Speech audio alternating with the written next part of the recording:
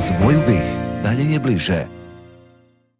Nakon usvajanja zakona o pravima demobiliziranih boraca federacije istražujemo da li će kantoni moći osigurati naknadu za veterane mlađe od 57 godina, kako to zakon ih predviđa.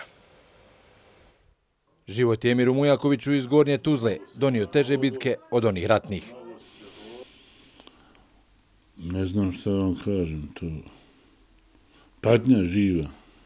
Nije mi žao što sam se borio i što izgubili smo i drugova i prijatelja. Žao mi je ovo sve što se dešava, ako što nema, nema ni grama pažnje prema nama. Zbog godina nema pravo na borački dodatak utvrđen novim zakonom o pravima demobilisanih boraca u federaciji. Pravo na dodatak nema ni Sarajlija Emir Žilić, iako nije sposoban za rad. Ja imam dvoje djeci, ne pita se, niko imalo ni patike nemaju. A ovi ovamo nekakvi beru plate po, po, po nekakve basoslovne su to cifre, 8.000, 9.000, dobivaju neke paušale, ali za njih se ima para, a za nas nema. Ova dva borca svoja prava tražit će u svojim kantonima. Pojedini kantoni, poput Bosansko-Podinskog kantona, već su najavili da neće moći obezbijediti borački dodatak. Kantoni bi prema prvim procjenama trebali zbrinuti između 30 i 40 hiljada boraca mlađih od 57 godina. Sarajevo i Tuzla imaju namjeru obezbijediti sredstva. Da li će biti para? Pa, ako se im reći para, mora biti.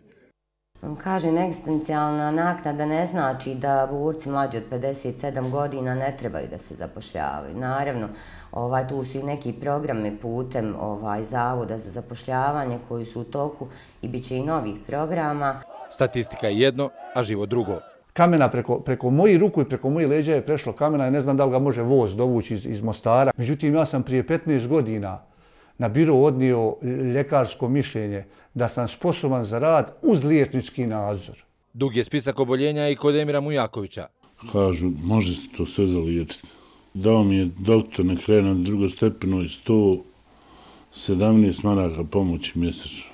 Kroz programe u kantonu Sarajevo u protekle dvije godine s evidencije Birova za zapošljavanje skinuto oko hiljadu osoba. Nedovoljno, ali sve u skladu sa zahtjevima poslodavaca.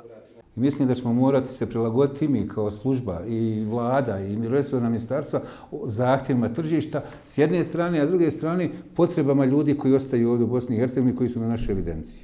Borci iz naše priče sve vide kao novo bacanje prašine u oči i pitaju se kako do danas nisu zbrinuti, iako je na borce potrošeno 11 milijardi maraka.